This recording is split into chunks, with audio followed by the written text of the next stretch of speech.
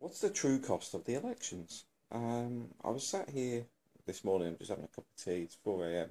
I've literally just got out having a cup of tea and then go back to bed. But I'm sitting here and I'm like, okay, the US is spending a ridiculous amount of money. Um, I know a celebrity came out the other day. Uh, I, am terrible with names because I don't do celebrities. Um, so I can't tell you who it was. but he was on about he'd raised an obscene amount of money. Um, but I have to question what is being exchanged for this money. Um, because corporations and stuff don't do nothing for free. They don't treat their employees most of the time very well, so why would they be giving away money? Um, so there's obviously been exchanges being made for the future, and the other problem with that is they're doing both sides. It doesn't matter who's going to be in power, they're going to push through whatever they wanted in the first place because they've already agreed on it to put the money up. Um, that's why there's so many lobbyists in Washington. It, it should be outlawed. um, we've got the same in the UK, to be honest, same problem, and we're currently experiencing the Tories with a bit of bad bookkeeping relating to some Tory busts they were floating around the UK with. Um, but I'm sure I'm sure if people wanted to dig further, there'd be more stuff in there. Um, but let's be honest, you need people actually be good journalists, and getting good journalism these days is an expensive game, but also most of the media is owned by a certain tycoon, so he's got no interest in chasing it. But then you've got things like the Philippines, there's people releasing millions of pesos worth of buses for running people for elections. You've got helicopters being used, etc. That are government or private use, either way, it's being taken out of the taxpayer somewhere. It has to be.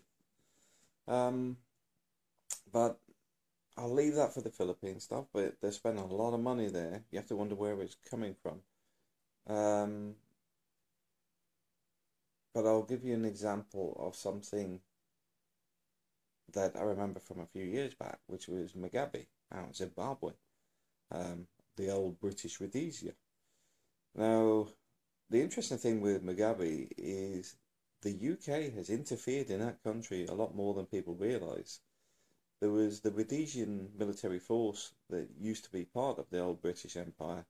They were looking to overthrow that government a long time ago, and it was the British that tipped them off with the Secret Service. Um, that the the former, should we call them? Actually, you can't really call them white masters. So, such. Let's just say the um, white residents were actually going to put a military force back in to overthrow the existing government um, after the British left, etc. And that was all helped to not happen by the uh, Secret Service, MI6. Um, but then when Mugabe was losing power, uh, I would have been, it's a few years back now, but basically what happened is he hadn't paid the military for months, he hadn't paid the police for months, and basically the country was on the verge of collapse.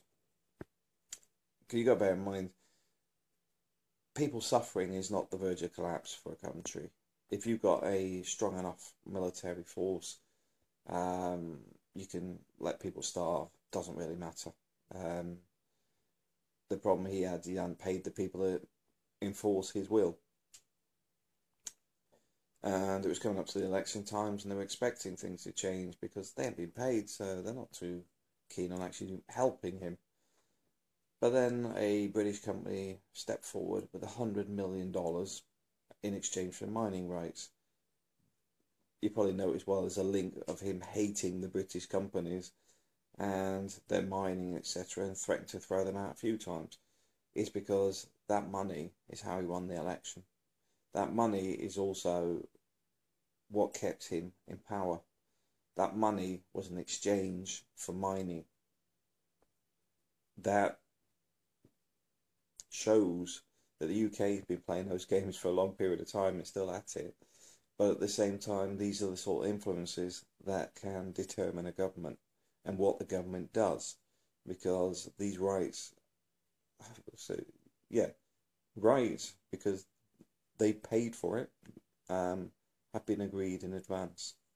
So, in some of the expenditure for UK, US, Philippines, wherever, there's been some sort of transaction that's been an agreement um, through lobbying or whatever. Now, I'm not saying all lobbying is legal, I'm not saying all lobbying is illegal, but people don't give up money for free. But also, you've got money that's appeared from other sources through exploitation and pilfering um, from being in power currently. And that's why, you know, whatever you're voting, ask where the money come from. I'm not asking asking you to ask a politician. If you can get get the truth out of a politician, you'll be the first person in in, history. Um, but what I'm asking is ask yourself, what is it going to cost you? Um, because going to war, for example, the benefit is to military contractors. The war on drugs, the benefit is to war contractors. The drug war, as such, the cost of the actual drugs is insignificant in in relation to relationship to the amount it spent on the war, um, in the same as Afghanistan, Iraq, etc. the amount spent on it is way above what the reality is of the impact. Um, yeah. See, it's hard not to go into bigger details with it because you have to expand it all out. Um, but you will find that there's a paper trail of people that have been in power and end up in dubious jobs. Um, but also there's a paper trail of people that have exchanged things for getting power, which is where things don't change. If anything, everything's been on slippery slope for a long period of time now. It's interesting. It's interesting. Um, because I don't see things improving.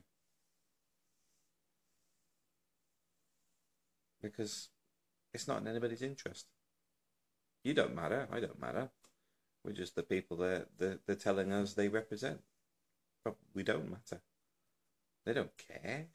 They're not doing it because they want to be good people. They're doing it for the money. Um, and they've created these little niches that stop people rising to the top. The UK is the same. This is why this is why I'm saying you know this isn't actually targeted at any single country. This is the fact that democracy is bought and paid for. Um, democracy leads to demono- demonocracy, as said by Plato. He was right.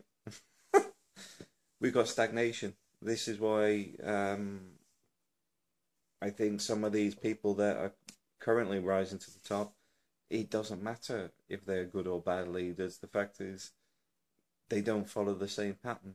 This is why you know people are going, oh, Duterte in the, the Philippines. A lot of it is just because he's simply different. Um, the US with Trump is because he's different. The UK, we don't have anybody. We have nobody. There's nobody who represents the people.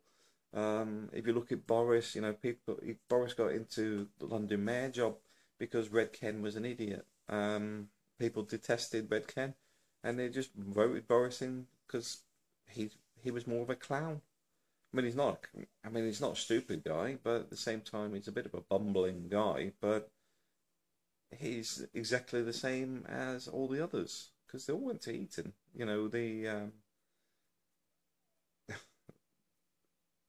it's just bizarre. Um, I mean, even on the Labour Party, is is just as bad. Because when you look at people like Corbyn and his ex girlfriend, I can't remember her name, um, but they're telling us that our kids should go to public schools. Um, I'll say public, but I want to define public in the UK. It's not the public I'm talking about. Public in the UK means private schools. But what I'm talking about is a comprehensive, um, which is your schools paid for by your taxes, Joe Public schools. Um, that's why it gets confusing. It, if I said comprehensive, though, it may not mean anything to anybody either. So I'm talking about schools which are state run schools for everybody. Um, it's part of your tax system. They want you to send your kids there. They don't send their kids there, though.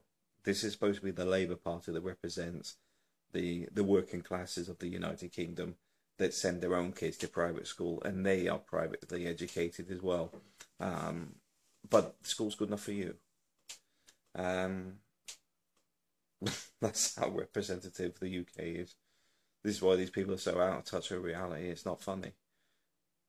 But what can you do to change it? Run for government yourself. How do you run for government? You need money. Where do you get the money from? Back to square one. Lobbying. Thanks for watching.